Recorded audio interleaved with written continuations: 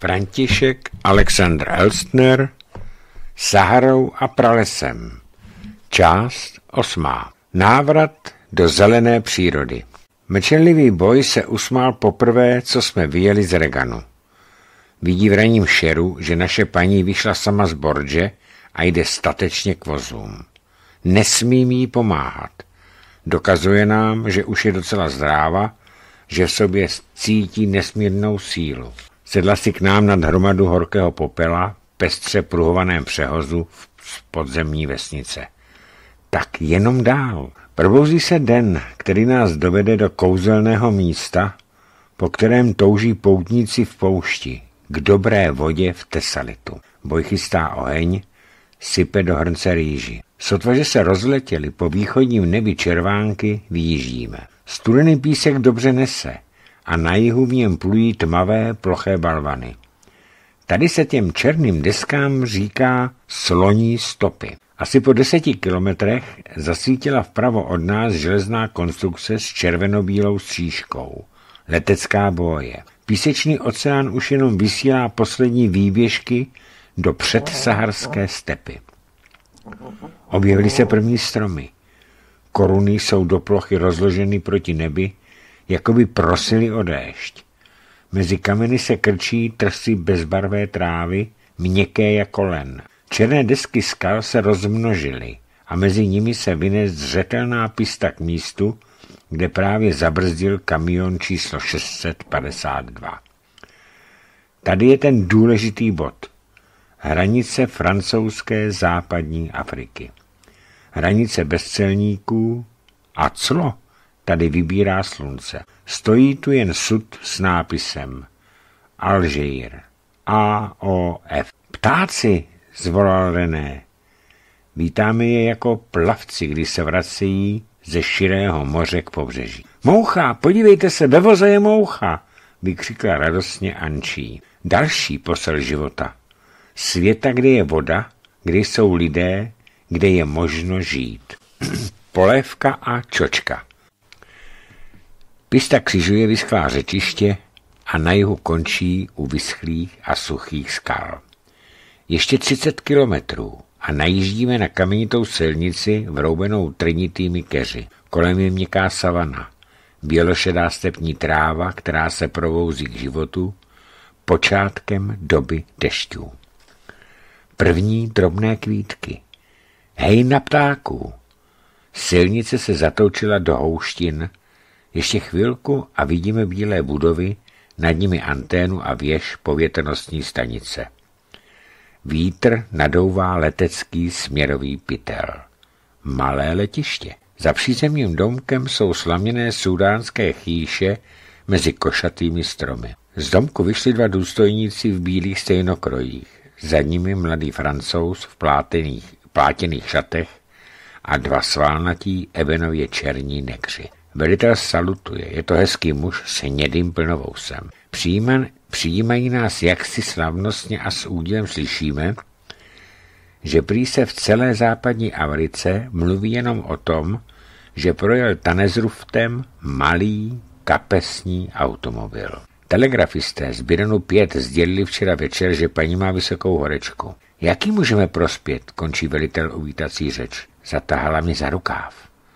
Tu polévku, Tolik po ní toužím. Aspoň odvar z rýže, šeptá. Zavedli nás do domku a uložili ji na čisté lůžko. Na bedně leží přenosný psací stroj, pravítko, kružítko, tušky a plány.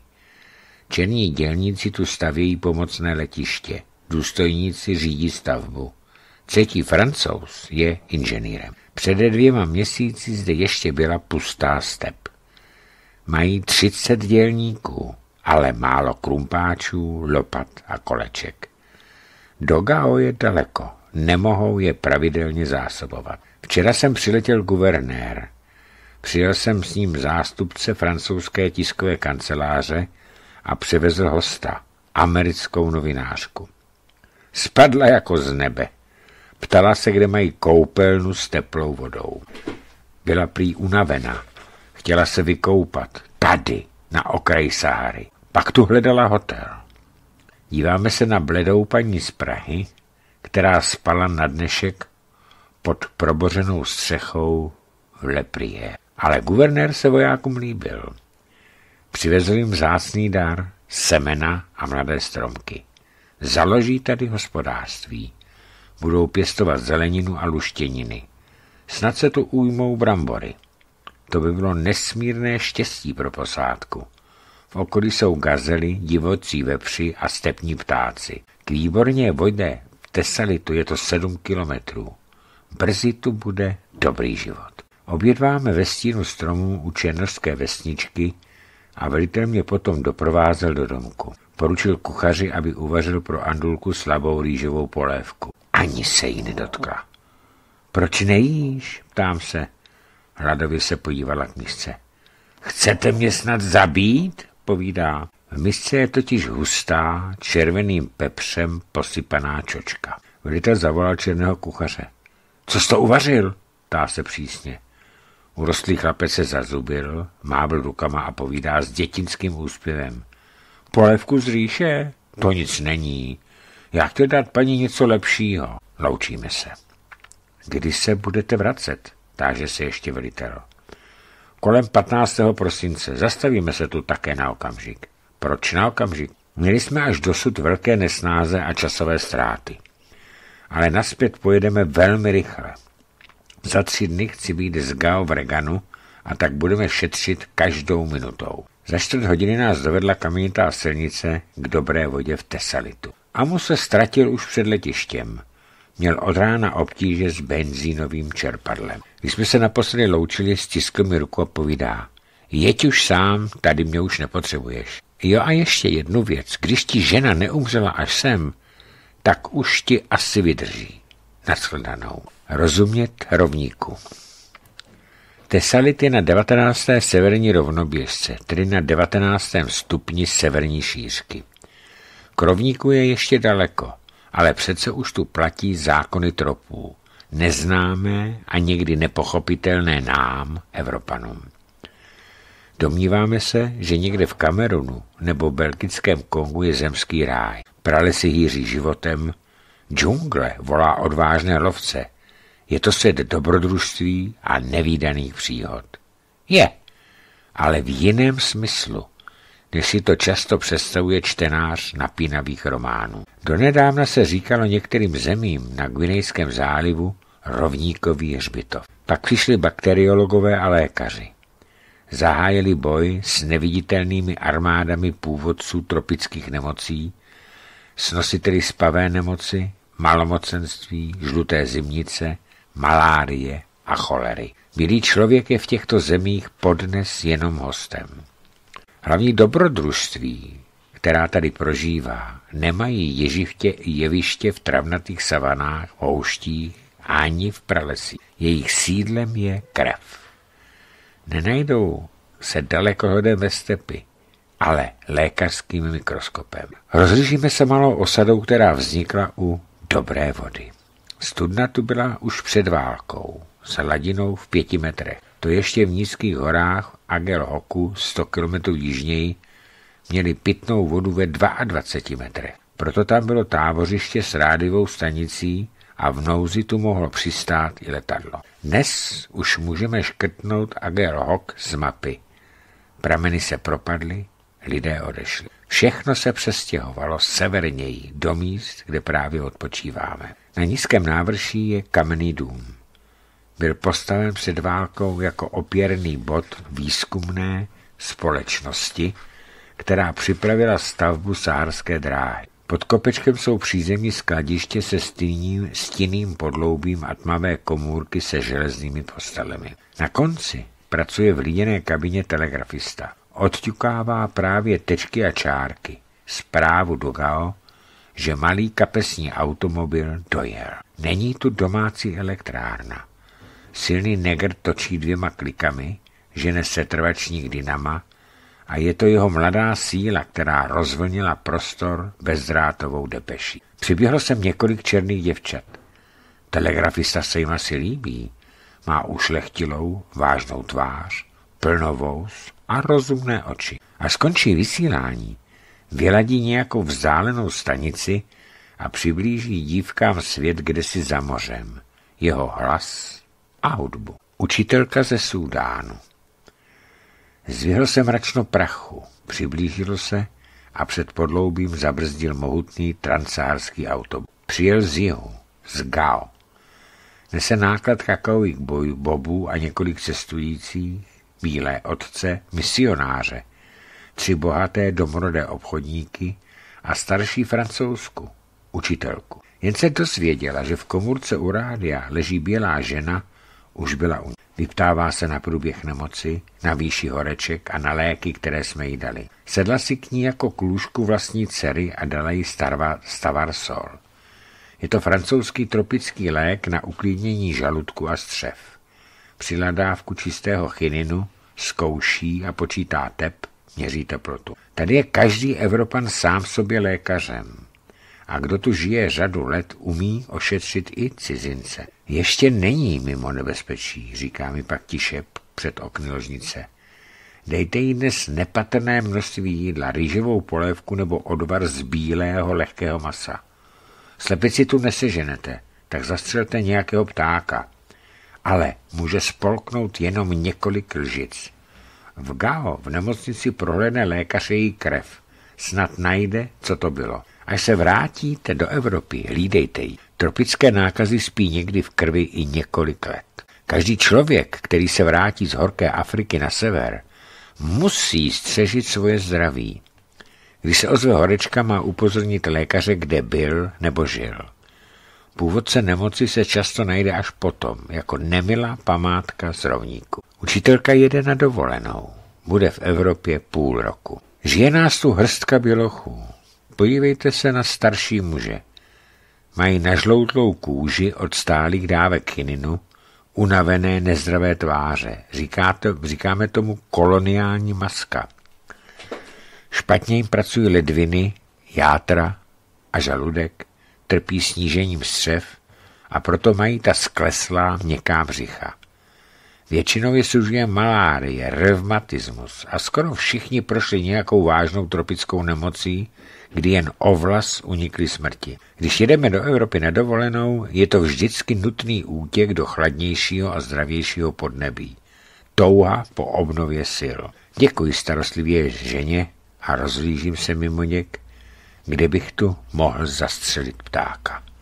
Nutně potřebujeme lehkou polévku. Je tu chudý kraj. Jen několik akácí u cesty, suché keře a skály. Pojedeme ještě 650 kilometrů, než se probudí příroda k plnému životu na březích řeky Nigeru. Další pokus o polévku. Za skladištěm hospodaří v začazené kuchyni starý černý kuchař. Pere právě ve velkém kotli rýži a ukazuje mi kus beraních jater. To by bylo něco po hladovění na poušti. Volám rychle syna. Takhle na pánvi a na cibulce povídá. Jak se řekne francouzsky cibule? Loagnon. Ale kuchař vrtí hlavou. Loagnon? Není. Kde pak? Mává rukou a ukazuje kam si za hory, jako by tam byly šťastnější země, kde mají lidé také cibuly. V tom slyším nějaké štěbetání. Překrásní ptáci přiletěli ke kuchyni a zovou na zemi semínka trav. Nejsou větší než křepelky, červení, žlutý, s modrými bříšky. Odletěli na strom a hezky štěbetají. A bude polévka. Chytni mi pět těch ptáků, povídám tiše kuchařovi a ukažuji počet na prstech. Dám ti padesát franků. Rozesmál se, pak vzal koš a odešel do nedalekých křovin. Pak se vrátil, usmívá se, nese úlovek. Polapené ptáčky zavřel do pece na chleba. René ještě přemýšlí, jak bychom udusili játra. Přišel telegrafista, našel v kapse kus špinavé cibule. Ale to je málo. Máme tady chlapce. Ten velmi rychle běhá, navrhuje. Přinese nám zeleninu z hor. Do sedmi je tady. Na hrubém stole řežu na kousky játra a čekám na běžce s cibulí. Ptáčkové se vaří v rnci. Učitelka ze Sudánu znovu naštívila Anči, pomohla jí z lůžka a vede jí na dvůr na čerstvý vzduch. Jiní barevní ptáčkové, ještě živí, štěbetají kolem kuchyň. Špetku soli a nesu misku s polévkou. Anči se posadila na schody, voní k mise, nemůže se dočkat, ale najednou jí vypadal žíce z ruky. Na zemi leží několik barevných peříček. Z čeho jste mi to uvařili? vykřikla. To jsou ti krásní ptáčkové, co tady létají. Vy jste je zabili. Miska leží na zemi, večeře končí. Hosté z Hogaru. Přijeli na velbloudech už odpoledne. Jejich lidé táboří v horách, potřebují vodu, sůl, cukr, čaj, olej, mouku a tabák. Na prsou mají kožené talismany, kolem hlavy tmavé šály, nad nimi chomáče černých vlasů. Pohupují se v kolébkových sedlech, velboudi větří, cítí tu neznámé zápachy. Jezdci je krotí tenkými řemínky provlečenými chřípích a bosými chodidly. Mají tenké, dlouhé meče v červených kožených pochvách. Mluví drsným jazykem lidí z Hogaru. Ženou stáda ovcí, nakoupených nebo vyměněných na nigerských tržištích a táboří právě v iforském Adraru. Šéf skladiště s nimi dojednal podmínky nákupu. Zítra přijedou s koženými vaky, naberou vodu a zboží. Sedíme v domku telegrafisty, pijeme černou kávu. Večer došel z Gao telegram. Pro nás. Ve světle karbitky čtu odpověď ústředního sportovního výboru autoklubu. Slíbený čas jízdy musíte dodržet, jinak nebude hodnocena jako podnik sportovní.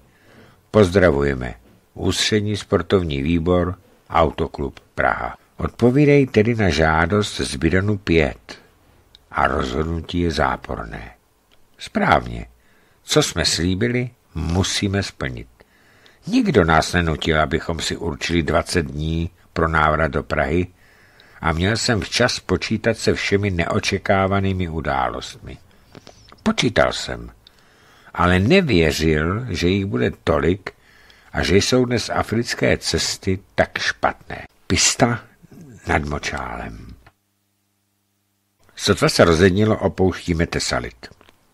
V prvním šeru zapisují do deníku, že dnes ráno objevil René pistoli pečlivě zabalenou do mastného hádru a uloženou v hlubině dutého blatníku. A s ní stovku nábojů. Je to velmi přesná zbraň ráže 765 a dobrý střelec si může troufat i na malý cíl. Skalnatou cestou proběhlo hejno rozespaných perliček a Minor jednu nabral pravým předním blatníkem. Náraz byl tak prudký, že se prohnul plech, ale zraněný pták zmizel v hustém křoví. Na holé skále stojí zbytky hliněné kazby, hradu, který střežil kdysi tuto cestu. To ještě žili země na Nigeru ve staré slávě a moci sultánů a černých králů. Karavany nosily vzácné zboží kolem osamělých studní a lupiči čekali na kořist. Svítá. Z iforského Adraru vané čistý vzduch. Pista teď míří na zelenou rovinu. Vyjíždíme do bažinatého údolí. Tady je asi malárie zadarmo pro každého. Z vesničky, ukryté ve vysokém rákosí, vyběhlo mladé děvče. Za ní letí k cestě muži a ženy divoce kříší. Muži jsou skoro nazí, nesou luky a šípy, ženy se halí do rozedraných hadrů. Dívka zastavila u kraje pisty a vztahuje k nám ruku slávy. Zelená, nečistá voda. I ta tu má asi cenu. Litr špinavé vody za kus chleba, cukru a soli. Dejte cokoliv. Lidé z močálů mají hlad. A jsou to skutečně lidé. Smějí se na vás. Ženy mají hezké oči, pěkně spletené vlasy. Některé tisknou na prsa maličká děcka. Dejte jim nějaké peníze, pobízí Anči. Na co? Nic by si tu za ně nekoupili. Dělíme se s nimi o chléb, o rýži. Div se o to nepoprali. Dva muži spatřili v zatím kufru kus drátu, plechovou krabici od konzervy, prázdnou láhev. To všechno tady má velkou cenu. Roztočil se motor. Má na dnešek perný úkol. Půl sedmé stovky kilometrů. Poskakujeme v kamení. Po několika kilometrech poskakování země změkla. Pneumatiky těžkých kamionů tu vyhloubily široké koleje, do kterých se minor nevejde. Jedu chvíli pravými koly dole a levými nahoře a pak střídám polohu. Objevuje se zvěř. Antilopy, muflona jsme zahleli v dálce. plašíme ptáky. Na východě pod horami je velká lovecká oblast. Agelhok se ruší. Žlutohnědé hradby brána. Na maličkém prostranství není živé duše. Nizoučké domky s vápence a z hlíny jsou opuštěny. Jenom nad jedním ještě vlaje francouzská vlajka vedle antény. Vyběhli tři černí muži. Za nimi jde telegrafista v tropické přílbě. Jsou tu dnes naposled. Večer je odveze kamion do, do Tesalitu. Tam je voda. Tady ne. Vyschly prameny. Pohostili nás. Kuchař osmažil na olej sladké těsto, dopili jsme zbytek teplého vína. Co bychom tu sehnali pro nemocnou ženu? Už nám nevydrží, nejí pátý den, jen trochu čaje a vitaminové pastilky. Co to je pro vysílené tělo? Záchrana. Kuchař má v bedvě, bedně dvě divoké perličky. Chtěl je dnes uvařit k obědu. Hodili jsme je radostně do vozu. Lidé z mrtvé osady, propadlé žízní a zkáze, vyšli před bránu a ukazují nám další cestu. Za Agel Hokem se pista dělí, jde ke studni v Akunéneku a potom do Kidalu, důležitého střediska na spojovací pistě do Tamansrasetu. Na roztězci je tabulka s nápisem, jako všude na sudánských cestách. V tom jsou francouzi opravdu svědomití, přesném označování vzdáleností a směrů. Bělošedá tráva utíká pod pneumatikami další hodinu, druhou, třetí. Chtěli jsme se někde sejít s Amu, ale benzínové čerpadlo jeho vozu má poruchu, kterou není možno spravit bez náhradních součástek. Letadlo se objevilo. Viděli nás na pistě a zakroužili nad námi. Dva čápy míří někam k Timbuktu, k čapímu městu u Nigeru. Blízko studně v Inráru je pomníček padlých vojáků cizinecké legie. Po několika minutách vyjíždí kapesní automobil do malé černoské vesničky, rozežené pod nízkými korunami stromů. Chýše, spletené z větví a strávy, několik hliněných domků a to je vše. Ženy pracují na zahrádkách, ošetřují prosná políčka, záhony luštěnin a malé melouny, na které se asi těší zdejší kudenaté děti. V chládku odpočívají ovce a kozy. U skladiště stojí několik mestků. Válej si tu pytle s obilím, prázdné bedny a benzínové sudy. Černé hlavy dětí se tisknou k oknům vozu. V očích jim sedí mouchy. Už je ani neodhánějí. Stepní prach se žene nad unavenou zemí. Jsme v Anefisu. Sedmnáct hodin. Amu nedojíždí. Do Buremu zbývá asi 230 kilometrů. Šest hodin. Můžeme tam dorazit hodinu před půlnocí. Uvažujeme, kde je asi Amu. Nebylo by slušné, abychom na něj počkali? Radím se o tom s černým telegrafistou, který právě skončil příjem zpráv a odložil sluchátko. Má návštěvu.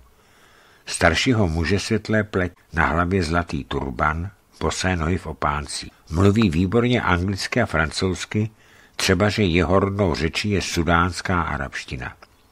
Ví, že jsme z Československa. Kde kdo to o nás ví? Ale zdejší obchodníky nezajímají sportovní jízdy. Odebírali před válkou československé zboží. Mělo tu dobrou pověst. Hliníkové a smaltové nádobí, stolní sklo, zápalky solo, tušky, železné nástroje, obuv, motory a stroje. Kdy obnovíme obchod se západní Afrikou? Kdy sem přijedou naši obchodní zástupci? Tak se nás ptají. Dáváme mu adresy do Dakaru a do Alžíru. Může dopsat do Prahy ministerstvu zahraničního obchodu. Dál mi svoji adresu do Timbuktu. Škoda, že tam nejedeme. Byli bychom jeho hosty. Vrací se z obchodní cesty a už dva dny tady čeká na nějaký kamion do Gao. Upozorňujeme, že za námi jede Amu, snad ho sveze. Černý správce stanice přehrává veselé pařížské desty, desky a baví čokoládově hnědá děvčata. Je sedmnáct hodin. Amu nepřijíždí. Čekali bychom třeba do půlnoci. Ale Anči nutně potřebuje Gao. Musíme vpřed. Pista vypravuje další příhody. Jízda pustinami unavuje. Musíš probouzet sám sebe, abys nezavřel oči a neusnul nad volantem. Světla vozu minula ještě na dvou místech opuštěná lidská sídla, vesnice, kde vyschly prameny. Občas zabuší do kol zvlněná silnice, pak zase jedeme travnatou, vysušenou stepí. Brzdy. V dálce někdo přepíná světla. Dává znamení, že stojí s vozem na pistě. Tady je to nutné, protože unavení říči jedou a jedou a mohli by se srazit. Už vidíme kamion, na zemi klíče a šroubováky spravují. Černí dělníci a běloch, stavební inženýr. Říká, že jedou z Gao opravovat pistu. Už tu váznou dva dny. Černý řidič není mechanikem, nerozumí stroji. Rozebrali kde co, ale motor nezapaluje. Roztočí se, ale pak se začnou válce hádat. A to je něco pro našeho rendu. Jak vidí porouchaný automobil, zmocní se ho nezatržitelná vášeň. Musí to spravit. Nastartoval šestiválec. To je v rozdělovači, prohlásil a pak rozebral kulatý domeček, který přiděluje svíčkám zapalovací proud. Vyběhaný hřídel, opálené dotyky. Oprava není možná. Musí se zamontovat nový. Zítra dopoledne dojedeme do Gao. Zavoláme vám pomoc, nabízí. Inženýr uvažuje. Dávám dopis pro naši společnost, aby vyslali druhý kamion s mechanikem a novým dílem. Jak jste zásobení? Nám je dobře, máme 20 litrů vody a do Boremu vydržíme. Na pistě nikdo neví, co vydrží a kam dojede. Zeptám se svých lidí, kolik mají vody. Seřadil černé chlapce a žádá, aby mu ukázali plechové láhve. Mají zvláštní tvar. Plní se širším hrdlem a pí z nich tak, že se tenký prout vody lije přímo do otevřených úst z vedlejší úzké trubičky. V koženém vaku na voze je asi 30 litrů. Přidáme vám 10 litrů vody, rozhoduje francouz. Dávám také bochník chleba, tři hrachové konzervy a kus čerstvého masa. Zabili jsme jehně a máme ještě jedno, živé. S vodou tu ty čtyři další dny vydržíme. Moji lidé jsou skromní, žijí s litrem vody dva dny, když je nouze. Na ohni vedle pisty peče kuchař perličky. Zastřelí je dnes na večer. Inženýr sestavuje zprávu pro svoji společnost v Gao. Anči objevila za kamionem živého beránka. Hraje si s ním. První lékař. Prohlížím si černé dělníky, ale jeden z nich má příliš jemné ruce a hovoří čistou pařížskou francouzštinou. Můj přítel je doktorem lékařských věd z nemocnice v Gao, seznamuje nás inženýr. Jede s námi do Anefisu, šíří se tam trachom, což je oční choroba. Lékař? Ptám se překvapeně. Pak vás požádám, doktore, o radu. Vezeme nemocnou. Líčím dopodrobna průběh záhadné infekce své ženy. Anči zaslechla slovo doktor a plná naděje mu podává pravou ruku. Potom jí pozorně prohlíží oči, poslouchá, jak pracuje srdce. Změřil teplotu. Srdeční činnost je zoufale slabá, řekl pak. Ale nebojte se, paní, jste mimo nebezpečí. V Gao vás vyšetří bakteriolog. Nejeste ještě dnes a zítra jen píte čaj a vodu z rýže, anebo ještě lépe pouze čaj. René sedí u příkopu a kuchař mu dal právě misku vařené říze. Eh, ří, rýže. Teď ji zlostně odložil a zavolal na mě česky. Když ona nesmí jíst, tak nebudu jíst taky. V Boremu něco uvaříme, ať chce doktor nebo ne. Kdy pojede dál, bude noc. Nedočká se odpovědi, protože všichni obrátili oči k severu. Tmou proniká světla, je slyšet motor a za okamžik brzdí na pistě Vajcapr. Hnal jsem se za vámi, co to šlo, volá Amufilali. Zapomněl jsem vás upozornit, že se za tabankorotem dělí cesta na letní a zimní. Kdybyste sjeli na Kershuel, nedojedete do Buremu. Pak vidí nesnáze porouchaného kamionu. Potřebujete něco? Nabízí pomoc. Máš vodu? Táže se inženýr. Asi sto litrů, dám vám, kolik potřebujete, zavolal boje. Rozdělil se o všechno, co měl, o vodu, o benzín, o cigarety. Za chvilku zmizelo v dálce červené světlo jeho vozu. Za chvílím, za chvíli odjíždí do tmy i minor. Ohně v houštinách. Úzká cesta má vysoký travnatý prostředek. Brousíme spodkem v kameni a v líně trháme drny. Brzy míjíme opuštěný tabankort. končí zvolna horské pustiny a najíždíme do nízkých, neprostupných džunglí. Francouzsky se jim říká brus, křovin. Co chvíli nad nimi spatříme červenou záři, někdy v dálce, někdy v těsné blízkosti. Pak se myhnou pod korunami stromů stíny chýší a černých postav v prostřed malé mítiny. Jsou tu roztroušeny vesničky nebo přechodné tábory kočovníků. Kdybychom prošli houštinami na západ, dojdeme do Ménaky. Tam jsou lvy, žirafy, mufloni, gazely a množství ptactva.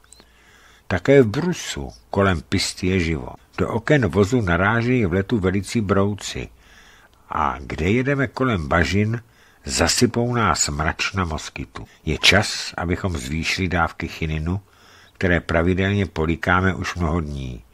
Je protivně hořký, ale co se co dělat? Malárie je špatným hostem v lidské krvi. Měsíční úplněk uložil houštiny do měkkého šera. Přeběhla nějaká nízká šelma. Jen se zeleně zaleskly její oči v kuželu našich světel. Zmrkl motor. Došel benzín. Vystupujeme na okamžik a hlavou ještě chvilku zní ozvěna kilometru. Slyšíte? Buďte stichá. Na jihu, šeptám. Tlumené zvuky z různých směrů. Co to duní?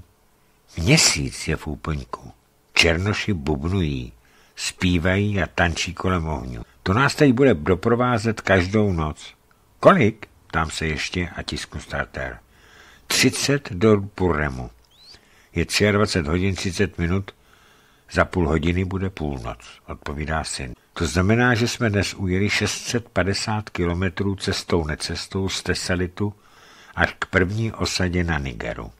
Ještě ale ne. Kolebáme se houštinami, výjíždíme do stepy a pak zalil stříbrné šero hlinité vlny nízkých kopců, svazky dlaňovitých kaktusů, palmy a košaté stromy. Pozor! Blíží se bílá stavba a před ní je u cesty tabule s nápisem Celnice. Teprve tady v Buremu je možno proclit zboží, které byste vezli z Alžírska, hluboko pod hranicí označenou osamělým sudem. Za úpravnou osadou plyne široký veletok Nigeru. Dojíždíme do brány vládního tábořiště. Jde nám vstříc černý správce. Představuje svoji ženu. Hned uvaří čaj, lůžka jsou připravena. Prohlížíme si přízemní noclehárnu. Do oken jsou vsazeny rámy s jemnými drátěnými sítěmi, ochrana proti nebezpečnému hmyzu. Dveře jsou dvojité, vyplněné sítí. Otevřeš první díl, zavřeš a posloucháš, zda za tebou nevletěl mozky. Když nic nebzučí, otevřeš druhou polovinu vchodu a teprve vejdeš do místnosti. Železná lůžka jsou zavěšena jemnou záslonou. Vklouzneš pod ní a založíš okraje, jen aby tě nenavštívil drobonký nepřítel s nebezpečným pozdravem bahení zimnice. Noc je dusná a tak prosím správce, aby vynesl stůl, židli a lůžka na nádvoří pod košatý strom. Andula usnula, jen co se stulila pod moskytovou záclonu.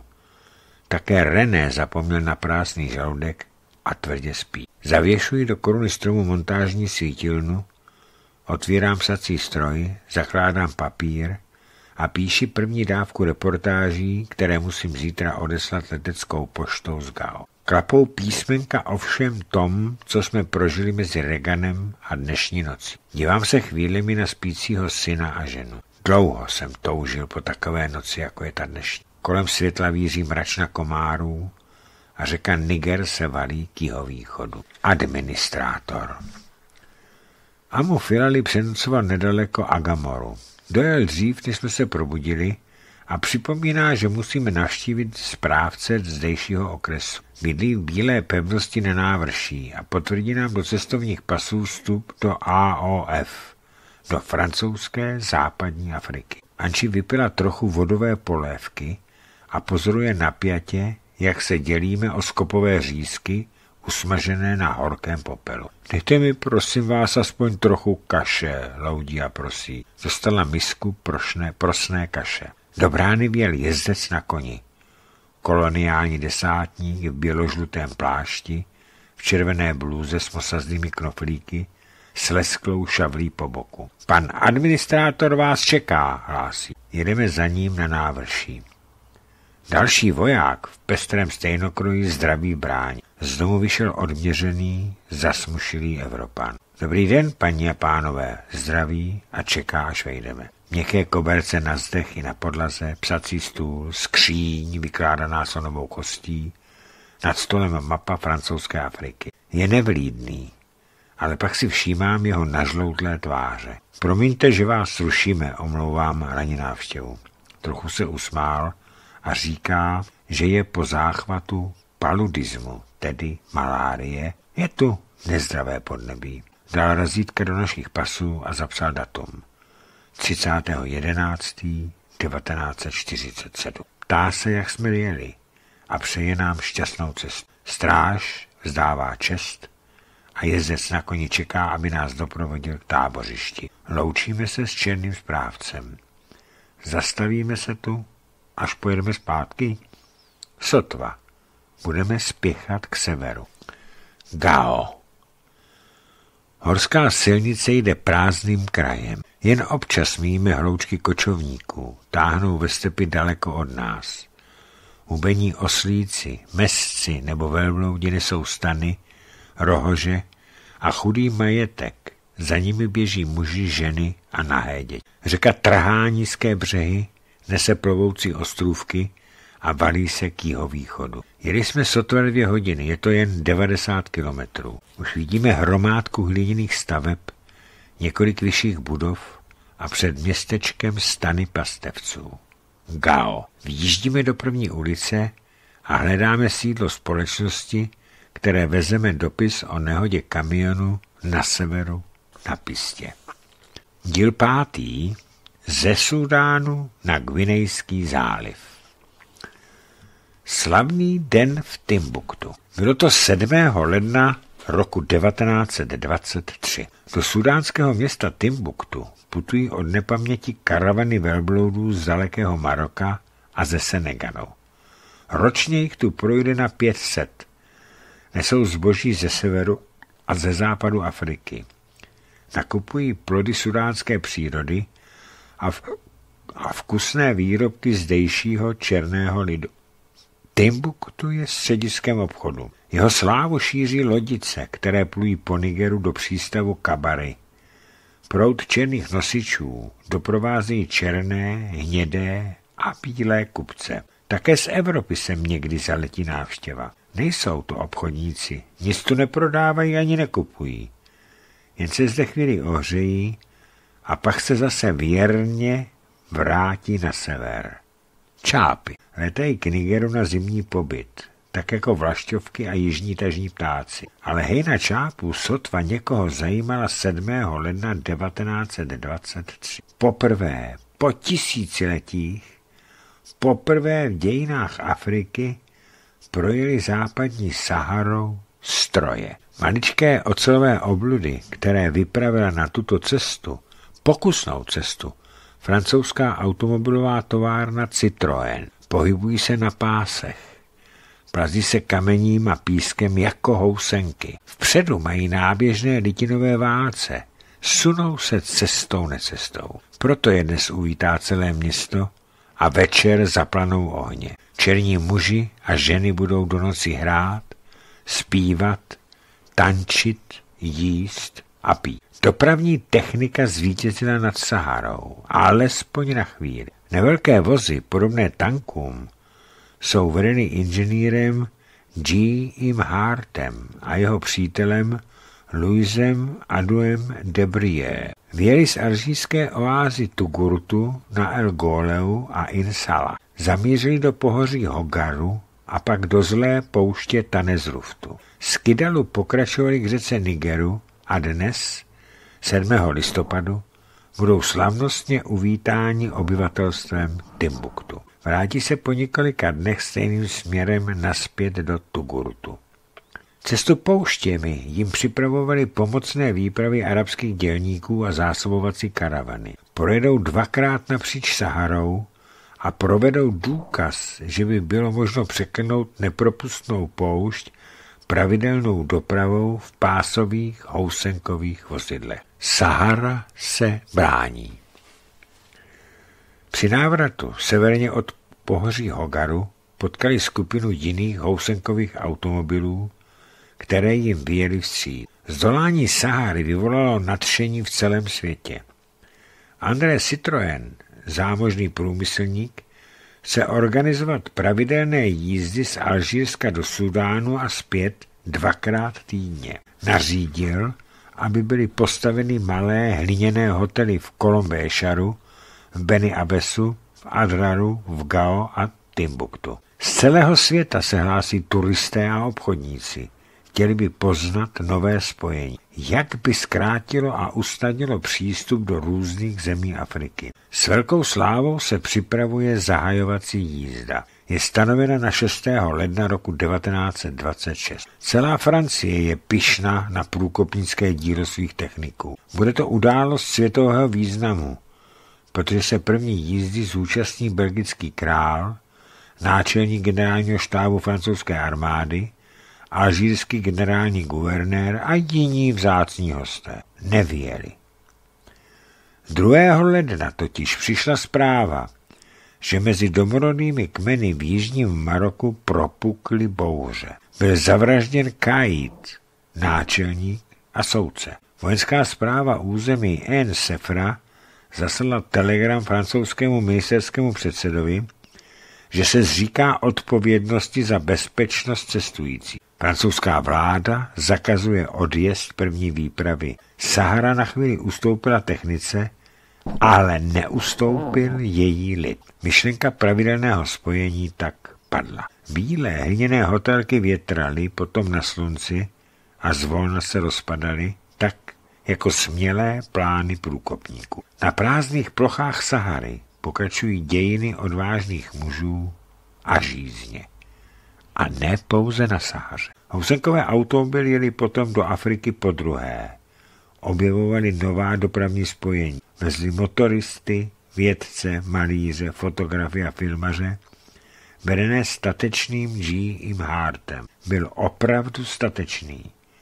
Prorazil v roce 1932 himalajskými průsmyky. V nejvyšších horských průsmycích vozy rozebrali a jejich díly přenesli. Chtěli najít přímé automobilové spojení z Evropy do Číny. Zemřel, nemocen a vyčerpán, před branami čínského města Hongkong. Africká minulost. Z Alžírska až k řece Nigeru projeli tedy housengové automobily. Evropští lidé prorazili pouštěmi, horami a stepí, rozlíželi se a v celku nic neviděli. Jen několik oáz, osamělé studně, kočovníky a potom první sudánské vesnice. Měly tyto horké země nějakou minulost? Slavné říše, krále, boje o svobodu? Naše děti možná závidí žákům afrických škol, že mají snadný dějepis. My totiž u nás jen málo víme o původních obyvatelích Sahary a vnitřní Afriky, o zdejším starověku a středověku. Zajímáme se jenom o příchod prvních bílých dobyvatelů, kteří vzali Africe její původní tvář a proměnili ji v koloniální území podrobené Francii, Anglii, Belgii a Portugalsku. Vidíme velké hrdiny ve všech odvážných mužích, kteří pronikali v minulém a v tomto století pouštěmi a pralesem k africkým lidem. V učebnicích bílých dětí je určitě zmínka, že roku 1869 anglický misionář a cestovatel David Livingston objevil prameny řeky Konga.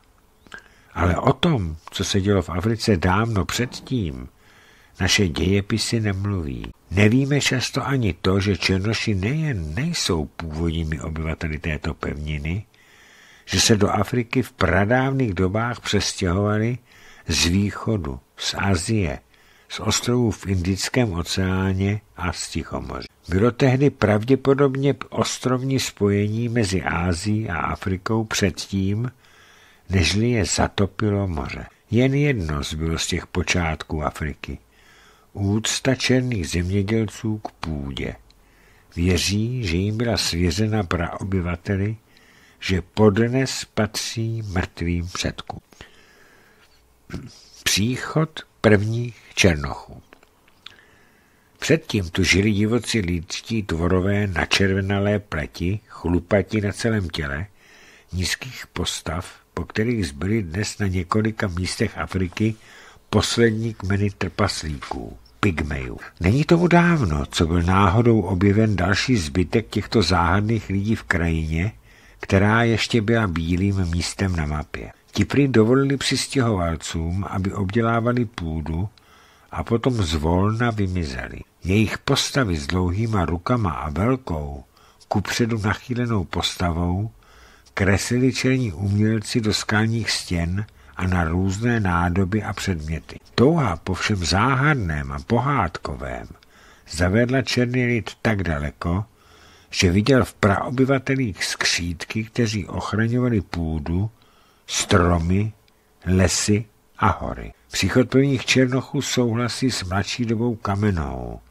a z dnešních obyvatelů jsou jim nejblíže bantuové, kteří se rozšířili po celé Jižní Africe a v území Hotentotu. Po několika tisíciletích následovalo druhé stěhování oceánských černochů do rozlehlých území mezi rovníkem, Gvinejským zálivem a libýskou pouští. V dnešní Africe žije velmi mnoho kmenů, ale základem jejich vzniku jsou bantuové, gvinejští a súdánští černoši. Ti se pak mísili s azijskými a evropskými lidmi světlejší pleti, pronikajícími do Afriky údolím Nilu, saharskými karavanními cestami nebo od mořských břehů.